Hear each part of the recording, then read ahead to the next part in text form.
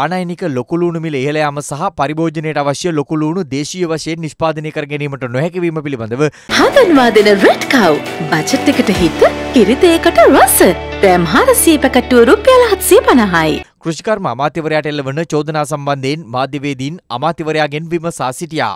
ඔබතුමාට චෝදනා එල්ල කරනවානේ මේ ආණ්ඩු පක්ෂයේම අමාත්‍යවරු ඔබතුමා ඒකට ක්‍රියාමාර්ග අරගෙන නැහැ කියලා දුණු වගාව සම්බන්ධව. දියුණු කොහොමත් රටින් ගෙනලා තමයි කන්නේ. තම තමන්ගේ අසමත් වෙන කට්ටියගේ පිටින් දාන එක එච්චර සුසු නැහැ. ඉතින් අපි පැහැදිලිව කියන්නේ රටවල් දෙකක් මේක තහනම් කරලා තියෙනවා. හැබැයි රටවල් දෙකත් එක්ක හරියට සුහදව කතා කරා නම් සමහරලාට මේ තහනමේ යම් ප්‍රමාණයක් ගේන්න පුළුවන්. ඒ නිසා කයිවාරු ගහ ගහ ඉන්නේ නැතුව අපි කරන්න ඕනේ ඒක. අපි පොඩි කාලෙත් අපි ඒකේ වල බීලුණු දැක්කේ නැහැ. අපි රතුළුණු කෑවේ. දැන් ලේසියට බීලුණු ගත්තා. ඉතින් අපි රතුළුණු ප්‍රවර්ධනය කරනවා. බීලුණු දිහාම බලාගෙන ඉන්නේ නැතුව අපිට පුළුවන් දේ වගා කරලා කන්න දෙන්න තමයි අපිට ඕනේ.